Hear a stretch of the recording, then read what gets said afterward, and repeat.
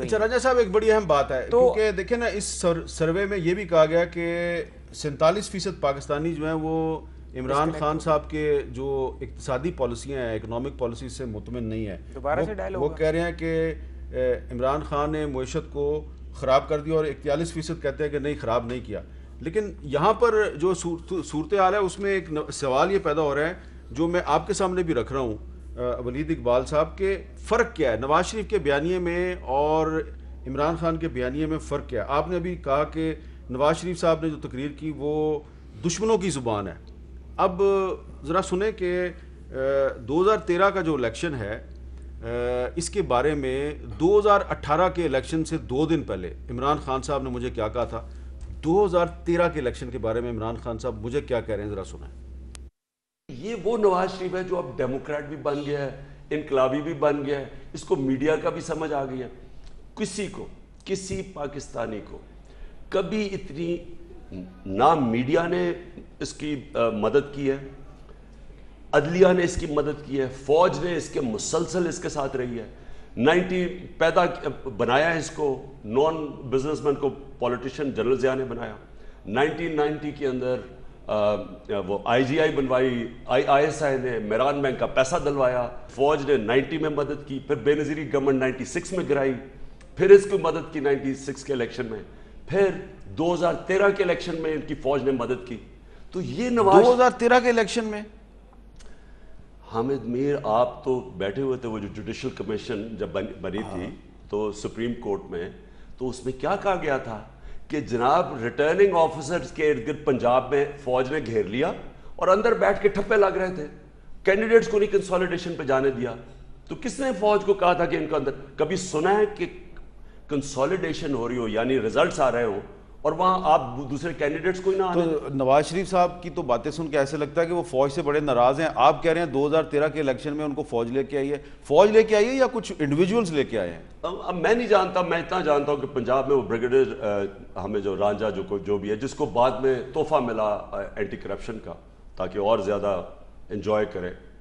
इस पर कोई शक नहीं कि इन्होंने पूरी तरह पंजाब के अंदर मदद की इनकी। मैं आज आपको ये कह दूँ कि नवाज़ शरीफ जो आज कंप्लेन कर रहा है वो ये कंप्लेन नहीं कर रहा कि फौज उसके खिलाफ है। वो ये कह रहा है फौज मेरे साथ क्यों नहीं है?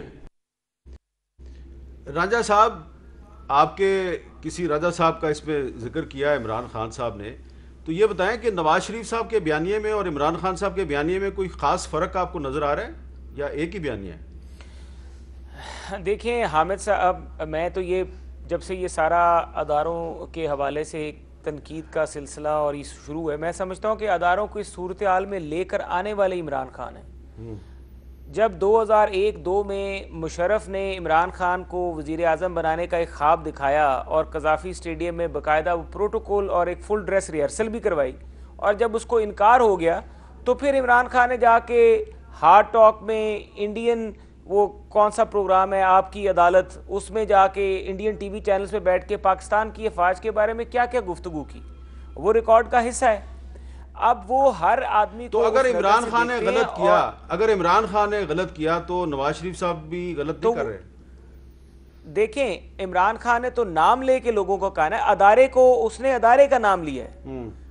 अगर हम अदारों का देखें नवाज़ शरीफ साहब ने एक अभी अगर किसी का नाम लिया हो उन्होंने कहा कि एक एक एक ये मकतबा फ़िक्र है और ये मुदाखलत नहीं होनी चाहिए। ठीक है।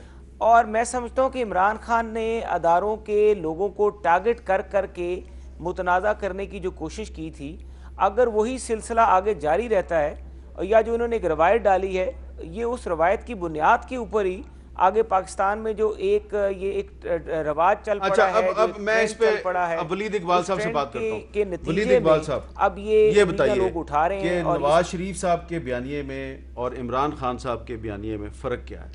लेकिन जी आप अगर आप बयानी के बाद उस क्लिप के हवाले से ने भी पेश किया और जो आपके अपने प्रोग्राम से है तो उसके पीछे तो खान साहब ने एक पूरी हिस्ट्री बताई है और वो हिस्ट्री उन्नीस सौ इक्यासी में शुरू होती है। जनरल ज़ा के दौर में, जनरल जिलानी पंजाब के गवर्नर, उन्नीस सौ इक्यासी से पचासी वो, पचासी का गैर जमाती इंतखब वो, जिसमें वो चीफ़ मिनिस्टर उसके बाद बनते हैं।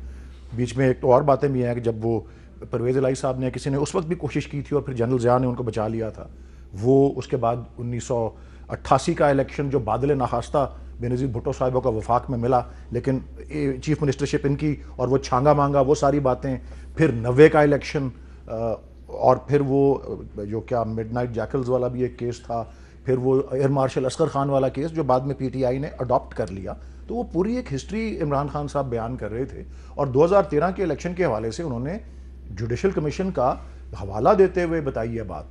अब मियाँ नवाज़ शरीफ का बयानिया जो है, नंबर एक, वो बरक्स बरक्स इन चीज़ों के, जो कि हिस्टोरिकल रिकॉर्ड का हिस्सा है, वो एक हेयर से की बातें कर रहे हैं, जिसको आप कानून में कहते हैं। सुनी सुनाई बात को वो दोहरा रहे हैं। बातें इस तरह की कर रहे हैं कि जी स्टेट पैरेलल स्टेट नहीं, बल्कि स्टेट अबव द स्टेट है। और जी, हमें इमरान खान से शिकायत नहीं है, हमें तो उनको लाने वालों के साथ शिकायत है। ये मैंने आपको दोहरा के वो और दोहरा के ये आपके सामने पेश कर दिया। मुझे तो वाजे फ़र्क नज़र आता नज़र आता है इस बयानी के अंदर। अच्छा राजा साहब, अब इसका जवाब तो तो वो आपने भी दे दिया है और वलीद इकबाल साहब ने भी दे दिया लेकिन क्या आपको खुल के ये बात कर सकते हैं कि जो बातें इमरान खान साहब 2018 से पहले करते थे और बड़ी खुल के बातें करते थे, वही बातें आप नवाज़ शरीफ कर रहे हैं तो दोनों का जो बयानी है, उसमें कुछ ज़्यादा फ़र्क नहीं है।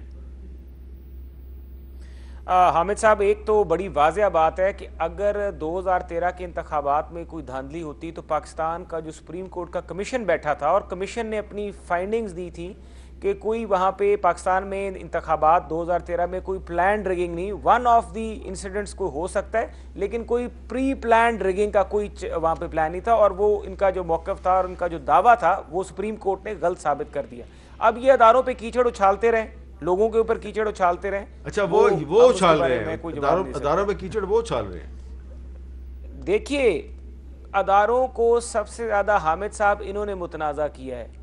हर जगह के ऊपर इनके वज़रा जो हैं खुद साख्ता अफवाज पाकिस्तान के स्पोक्स पर्सन बन जाते हैं। हर जगह पे इनके वज़रा जो हैं वो उनको नहीं भी कहते उनकी हिफाजत करने आ जाते हैं। हम्म। कई जगहों पे ऐसे ऐसे का, कानून इंट्रोड्यूस कराते हैं जो कि अफवाज की तरफ़ से बिल नहीं कहे गए होते नहीं कहा जाता। जिस तरह वो फौजी अफसरान के हवाले से गुफ्तु करने वाला बिल इनके एक M N A Amjad Ali Khan उन्होंने खुद से करवा दिया। जो डिफेंस की स्टैंडिंग कमेटी के चेयरमैन हैं और अदारे ने उसको ऑन ही नहीं किया। तो ये अदारों को मुतनाज़ा खुद करते हैं और ये इस तरह की चालबाजी करते हैं कि ऑपोजिशन को और अदारों में लड़ाई और खिलाफ तो हम ये तो करें कि जो एक हुकूमत की हम ये तो करें राजा साहब हम ये तो करें कि जो आपके जो जलसे होंगे आने वाले दिनों में तो उसमें आप तनकीद करेंगे हुकूमत पे तनकीद करेंगे इदारों पे तनकीद नहीं करेंगे। देखिए हम हर गैर आइनी इकदाम पे तनकीद करेंगे जहाँ पे हम समझेंगे कि एक किसी फ़र्द ने आइन को तजावज़ किया है। हम्म। हम अदारे की बात नहीं करेंगे हम उस फ़र्द की बात करेंगे। ठीक है। और हम हम एहतराम करते हैं पूरे अदारों का हर अदारे का चाहे वो अदलिया है चाहे वो पार्लियामान है चाहे वो हमारी अफवाज है हम एहतराम करते हैं। और नवाज़ शरीफ साहब ने तो वाजिया कर दिया कि वो हर उस अफसर का एहतराम करते हैं। अच्छा। जो अपना फ़र्ज़ जो है सही तरीके से निभा रहा है। लेकिन इख्तलाफ वहाँ पर आता है जहाँ पे गैर आइनी इकदाम शुरू होते हैं। अच्छा अभी तक वैसे गैर आइनी इकदाम कौन सा हुआ आपके ख्याल में? देखिए गैर आइनी इकदाम होते हैं कि जहाँ पे आप आ, ऐसा काम करें जिससे आप डोमेन या लाइन क्रॉस करें। और वो अभी जहाँ पे अगर हमारा ये इलेक्शंस के हवाले से हमारा एक मुतालबा है और मैं ये समझता हूँ कि इसके ऊपर एक एक फैक्ट फाइंडिंग कमीशन अब बनना चाहिए। कि 2018 के इलेक्शंस के ऊपर कहाँ कहाँ पर एक एक मेंबर कौमी असेंबली या जो टिकट वैसा ही कमीशन जैसा 2013 के इलेक्शन फैक्ट फाइंडिंग कमीशन बनना चाहिए। ठीक है। जी बिल्कुल फैक्ट फाइंडिंग कमीशन बनना अच्छा अब वलीद इकबाल साहब ये बात आपको मुनासिब नहीं लग रही कि रंजा साहब कह रहे हैं कि हम इदारों के खिलाफ बिला वजह मुहाजराई करने में कोई ज़्यादा इंटरेस्टेड नहीं है। ये अच्छी बात नहीं है आप सेनेट की डिफेंस कमेटी के चेयरमैन भी हैं। जी ये जो फरमा रहे हैं ये असूलन इसमें बात अगर ये मफरूज़े पे बात करते हैं अगर ये दुरुस्त है कि इनकी शिकायत के स्पोक्स पर्सन जी नहीं नहीं मैं तो यही कह रहा हूँ ना जी मफरूज़े पे ये कह रहे हैं मैं ये इसलिए कह रहा हूँ कि अगर इन्होंने ये कहा है कि जी इनका इख्तलाफ इंडिविजुअल से है कुछ अफराद हैं किसी इदारे से नहीं है तो अभी तक तो उन्होंने किसी फ़र्द का नाम ऐसे नहीं लिया। और उस पर कोई ऐसा इल्ज़ाम नहीं लगाया। उन्होंने तो जनरल बातें ऐसी की हैं जैसे कोई देखे ना अगलबंद के लिए इशारा काफ़ी होता है। जब ये बातें हों जिस तरह की बातें हुई हैं और मैं भी दोहरा चुका हूँ दोबारा नहीं दोहराऊँगा जो तकरीर में आई हैं उसमें किसी का नाम नहीं लिया। उन्होंने कि जी लाने वाले वो अबव द स्टेट ये वो अब वो तो सारी इशारा तो वही होता है कि जी ये जो है पूरे के पूरे किसी इदारे का ही ज़िक्र कर रहे हैं। अच्छा तो अब अभी तक तो इन्होंने की तरफ़ से किसी इंडिविजुअल तो मैं इसलिए मफरूजा कह रहा हूँ अभी तक तो उन्होंने किसी इंडिविजुअल को नेम नहीं किया। जैसा कि इमरान खान साहब ने किसी ब्रिगेडियर रांझा को नेम कर दिया था। फॉर एग्ज़ाम्पल यस तो yes. इन्होंने नहीं किया। तो ये अच्छी हाँ बात है वैसे। और ये जो कमीशन की बात कर रहे हैं जी मैं इसको ये तो पुरानी बात हो गई लेकिन इसको भी मैं वाजे करना चाहता हूँ और उसके हवाले से मैं बावजूद इसके कई पुरानी बात है। जो ये कमीशन बना था chief chief justice of Pakistan उस वक्त के नासिरुल मुल्क साहब जिसके सरबराह थे उसने एक फ़र्क होता है। एक तो उसमें आप उसका फैसला भी देख लें और वो जो आखिरी दो सफ़ों पर आता है उसमें वो शुरू किससे होते हैं? कि पीटीआई बिल्कुल हक बजानिब थी इस मुतालबे में कि ये इस पर जायज़ा लिया जाए। और फिर वो तीन सवालों के जवाब उन्होंने बार बार उनमें जो लफ्ज़ इस्तेमाल किया कि वो साबित नहीं हो सकी। साबित ना हो सकने का मतलब ये नहीं है कि हुई नहीं। और मैं अब समझता हूँ कि हम, हमारी तरफ़ से जो स्ट्रैटेजी थी हफीज़ पी दादा साहब, अल्लाह उनको जन्नत नसीब करे, और जो उनको इंस्ट्रक्ट कर रहे थे हमारे दो तीन कॉलीग्स उन्होंने लाइन गलत पकड़ ली थी। उन्होंने फॉर्म 15 की लाइन पकड़ ली उन्होंने printing of extra ballot papers की लाइन पकड़ ली। तीन चीज़ें थी। और तीसरी थी वो नजम सेठी साहब का as caretaker chief minister जो बयान।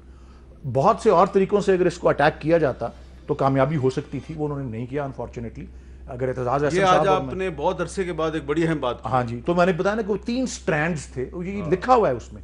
वो गलत लाइन थी उसके बेसिस अच्छा पे नहीं हो सकता। एक और भी मैं हाँ, अच्छा- इनकी कमीशन जो है और अगर चाहते हैं मुजवजा कमीशन ये पार्लियामेंट की में वो बनी हुई है वो चीज़ खुद ही उसको आगे नहीं चला रहे। बताएँ हमने तो चार हल्के बताए थे। अच्छा, हमने उसको एक साल प्लीड किया था नहीं माने तो हमने वो शुरू किया था।